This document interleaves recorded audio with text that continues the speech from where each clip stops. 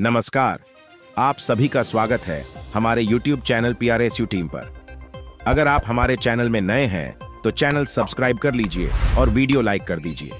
आज हम आपको PRSU न्यूज़ बुलेटिन में एजुकेशन रिलेटेड और जॉब रिलेटेड, साथ में रायपुर से संबंधित जानकारी देंगे।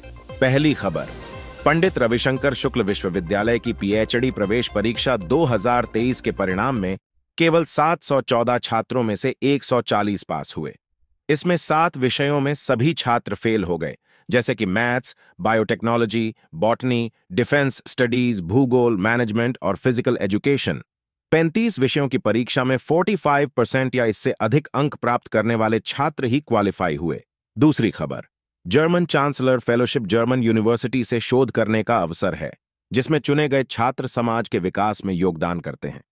हर साल 60 छात्रों को इस फेलोशिप का मौका मिलता है, जिन्हें जर्मनी में अध्ययन करने का खर्च वहन किया जाता है। आवेदन करने की अंतिम तिथि 15 अक्टूबर है। तीसरी खबर, क्लैट के एग्ज़ाम दिसंबर में होने जा रहे हैं और आवेदन 3 नवंबर तक किए जा सकते हैं। इस बार क्लैट में पहले की तुलना में 120 सवाल होंगे, जो स्टूडेंट्स के लिए एक्सेसिबल हैं। यह परीक्षा इंग्लिश को समझने और उसे करने में मदद करेगी और इसका आयोजन 3 दिसंबर को होगा। चौथी खबर। पीएससी मुख्य परीक्षा में मार्किंग पर भ्रष्टाचार के बारे में शिकायतें हैं। छात्रों के आंसर शीट के मूल्यांकन में गलतियों की ओर इशारा किया गया है। उन्हें नंबर देने पर भी सवाल उठ रहे हैं। कुछ छात्रों ने नियमों का उल्लंघन किया है, फिर भी उन्हें क्वालिफाई किया गया है। छात्रों की शिकायतें प्रधानमंत्री से लेकर राष्ट्रपति तक पहुँची हैं। पांचवी खबर। शंकराचार्य मैनेजमेंट इंस्टीट्यूट, रायपुर में एमबीए के छात्र गणपति के प्रबंधन सिलेबस पर पढ़ रहे हैं। इंस्टीट्यूट ने गणपति के आधार पर आठ विषयों पर स्पेशल दस दिन के कोर्स की शुरुआत की है। छात्रों को गणपति के विभिन्न गुणों से प्रबंधन का सिखाया जा रहा है, जैसे समर्पण, सहनशीलता और सहयोग। छठवीं खबर, छत्तीसगढ़ के कॉलेज छात्रों को मिल रही स्कॉलरशिप राशि में बदलाव नहीं हुआ है।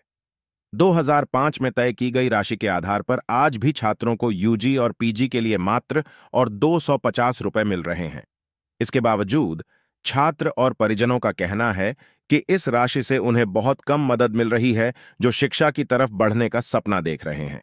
सातवीं खबर, अक्टूबर में बैंकों में छुट्टियों की भरमार होने वाली है।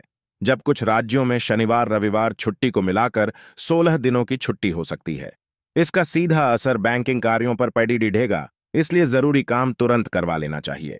सार्वजनिक और क्षेत्रीय अवकाशों के मुताबिक बैंक छुट्टियाँ मनाएँगे। आशा करते हैं आपको वीडियो पसंद आई होगी। कमेंट में अपनी राय ज़रूर दें।